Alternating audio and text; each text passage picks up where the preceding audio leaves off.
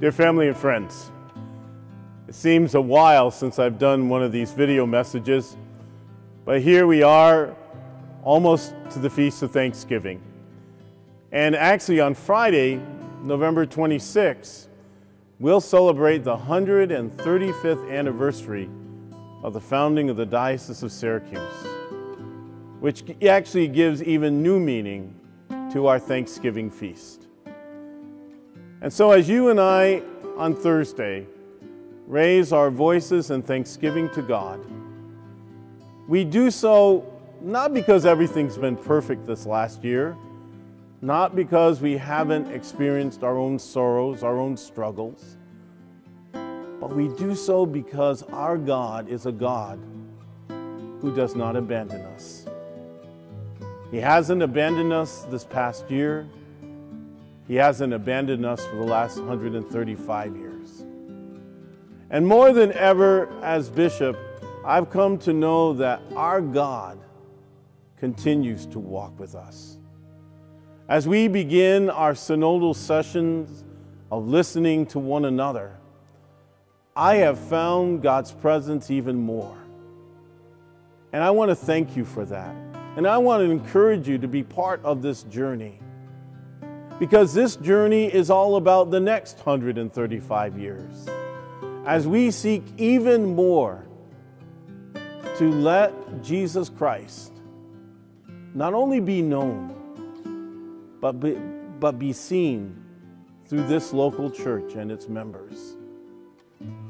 At Thanksgiving time, we give praise and thanks for those special gifts that God has put into our lives our families, our friends, our jobs, our health, our health care workers,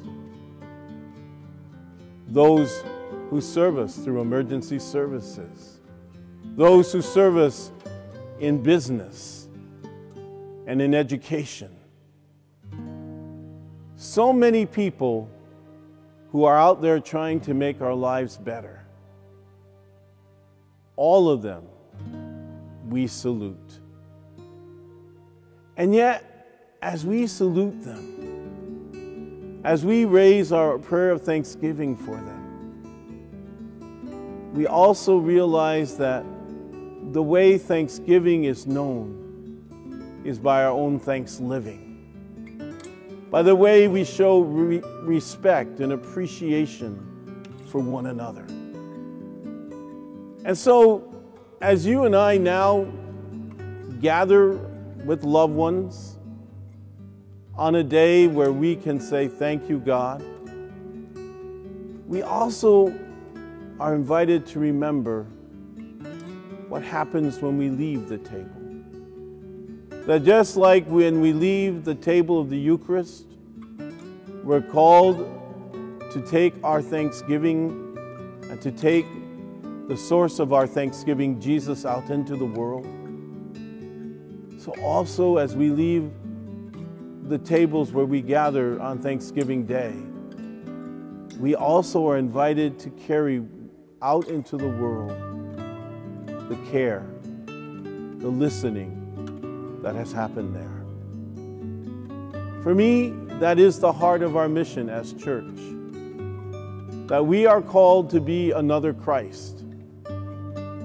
Just as He listened, just as He cared, just as He took time for people. For me, that's the mission of the church today. That's how the good news of the gospel is known when the Word becomes flesh.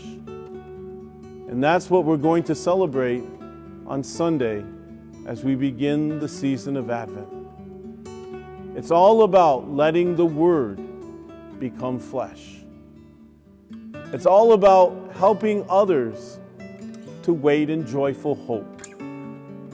Because that's what Jesus Christ brings to you and me. In the midst of sorrow, in the midst of our own struggles, Jesus reminds us that God does not abandon us, that God is with us, and that He promises to be with us to the end of the ages, but also He promises to come to us again. That is why we can wait in joyful hope.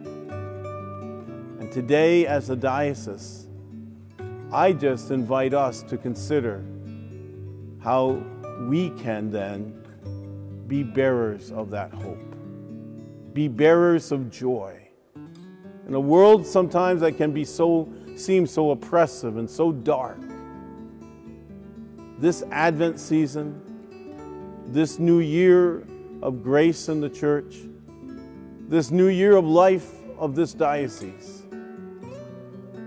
let's make that commitment to be that light, to carry that lantern, lighting the way for others, giving them hope, giving them peace,